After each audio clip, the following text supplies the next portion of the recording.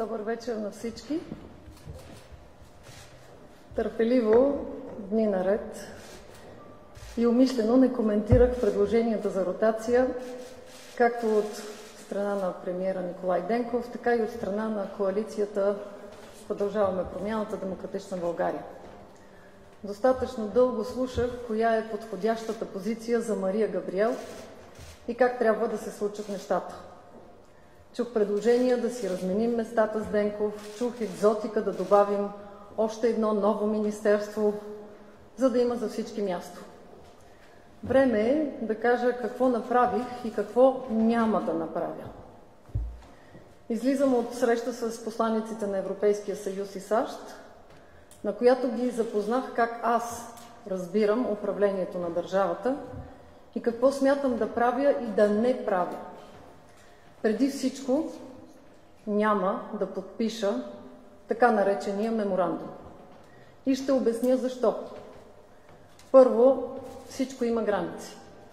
Моите са, че не приемам държавата да се управлява при тотално неспазване на фундаментални принципи на демокрацията. Второ, обезпокоително е, че този документ е изработен с крайна цел и остава усещането за това държавата да бъде разделена между две коалиции, а независими регулатори, съдебна система, службите и контролните органи да бъдат поделени в нарушение на законодателството на държавата за сметка на лични цели и партийни интереси.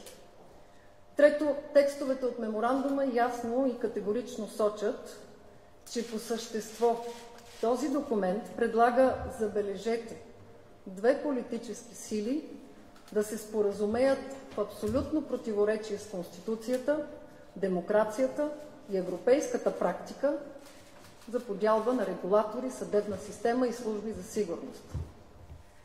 Четвърто, всеки закон, свързан с избора на съответните регулатори и контролни органи, съдържа ясни правила и точни изисквания за заемане на съответната длъжност. Там категорично са посочени условията, на които съответното лице трябва да отговаря. Пето, меморандумът влиза в противоречие с българската конституция, а тя за мен е основно ръководно начало на правовата държава и нейните разпоредби се спазват безусловно. Шесто, намирам меморандумът като ултиматум и опит да променяме закони според партийните си интереси. А по-подробен прочит показва една единствена цел – политическо овладяване на независимата съдебна система, контролните органи и регулаторите. Меморандумът е опит за политическа търговия, прикрита зад привидни лозунги за спазване на принципи. И накрая Правовата държава се ръководи от принципа за върховенството на закона. Създава правна и законодателна уредба. Реформите се правят чрез изменение на законодателството, каквито са единствените възможности на Народното събрание, без да се намесват правомощията на останалите власти. Ще си позволя да коментирам някои от предложенията по-подробно. За съдебната реформа. Безспорно тя е приоритет. Но така предложения документ и за най-големият лаик е ясно, че всички амбициозни цели трудно могат да бъдат постигнати в рамките на 9 месеца. Това е програма за цял управленски мандат. Ако беше толкова лесно, защо не го заложихме и не ги постигнахме до този момент? Или ще се изискват от мен с ясното съзнание, че няма да могат да бъдат изпълнени. За службите задавам въпрос. Какво налага тези промени? И защо е фиксиран този срок 1 юни 2024 година, който съвпада с предизборната кампания за избор на членове на Европейския парламент? Липсват аргументи, мотиви и ясни правила как ще станат тези промени, без това да застраши националната сигурност. Липсата на тези аргументи е доказателство, че това може да бъде тълкувано като пореден опит за заемане на постове, чрез които да бъдат овладявани службите. За електронното управление. Не е ясно какво налага тази амбициозна дейност в рамките на следващите 9 месеца, свързана с електронното управление. Действащият министър на Министерството на електронното управление се движи с охрана от няколко месеца в резултат на заплахи и натиск от народни представители. Заплахите касаят възлагане на обществени поръчки. Този казус все още няма яснота и предложението за реформа в това министерство навежда на мисли за опит за замазване на корупционен скандал или овладяване на министерство.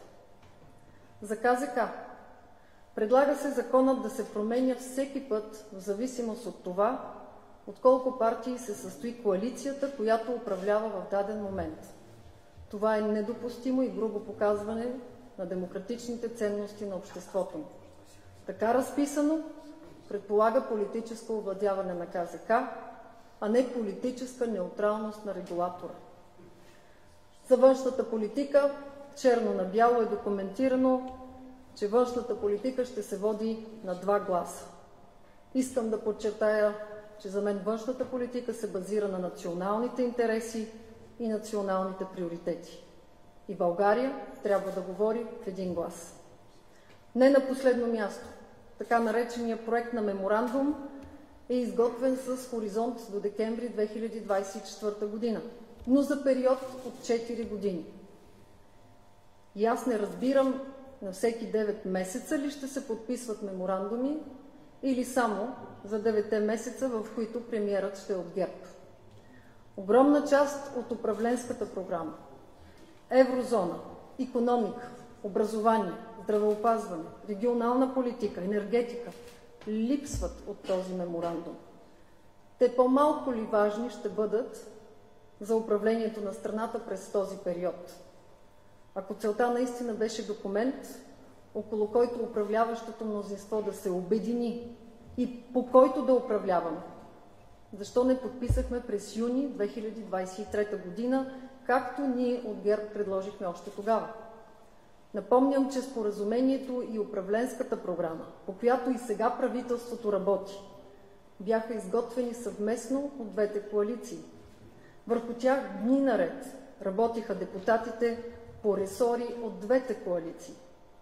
За всички е ясно, че документ, разработен само от едната страна и изпратен на другата по приложение за чат, не цели постигане на съгласие.